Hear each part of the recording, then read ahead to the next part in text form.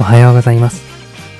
このライドでは海軍道路をゆっくりと走って存分に楽しみ、その後も東海市場までの坂道を楽しく走りたいと思います。よろしくお願いします。